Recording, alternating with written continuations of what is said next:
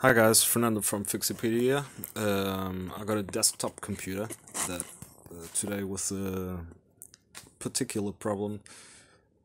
It had a lot of other issues, but was simple to solve. This one was sort of simple but complicated at the same time, and I know there's a lot of people with this issue online.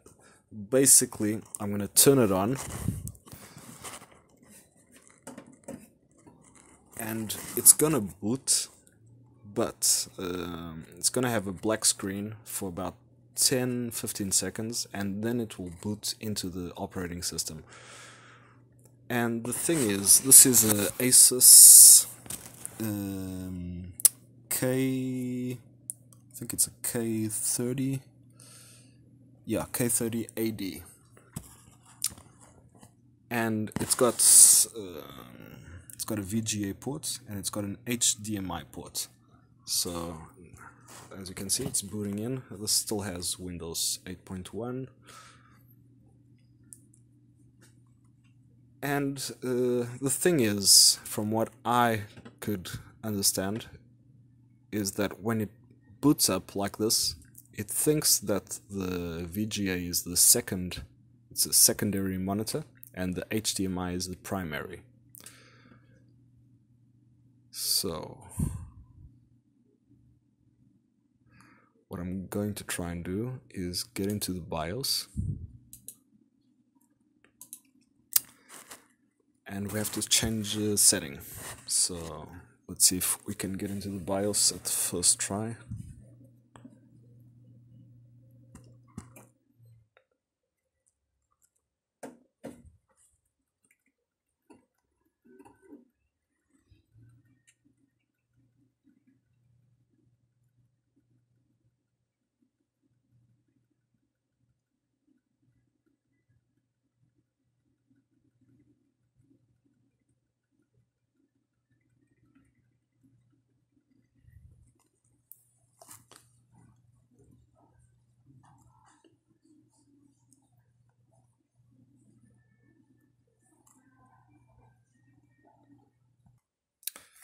Okay, so if you can't get into the BIOS on your first try, um, this happened to me before, either you connect uh, HDMI monitor to the computer, then you can go into the BIOS because he'll detect the monitor and let you see all the information on the screen, or you can just disconnect the power supply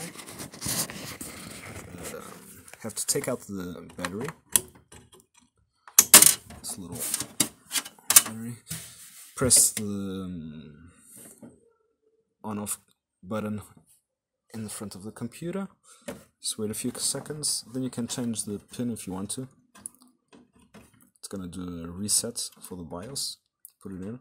It's just to be sure that it's gonna reset the BIOS. So, okay, put in the battery again. Connected. Now it's gonna give an error.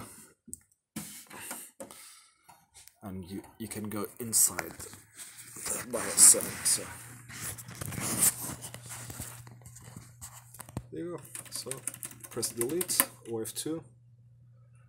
Press F1 to enter setup. Okay. So now we're in. I'm gonna just go into advanced mode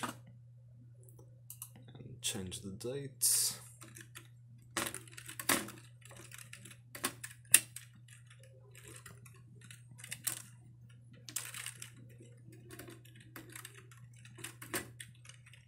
Okay, so okay, now the setting that you're gonna change.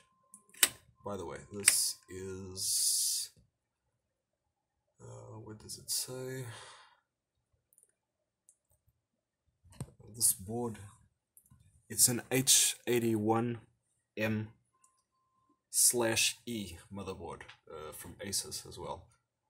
And I already did an update for the BIOS. It's a 0802 okay but the setting that I want you to change is you have to go up here to boot then come all the way down to CSM compatibility support module and you're going to change this from auto to enabled. Okay. Press F10 so it will change, it will save your settings. Yes.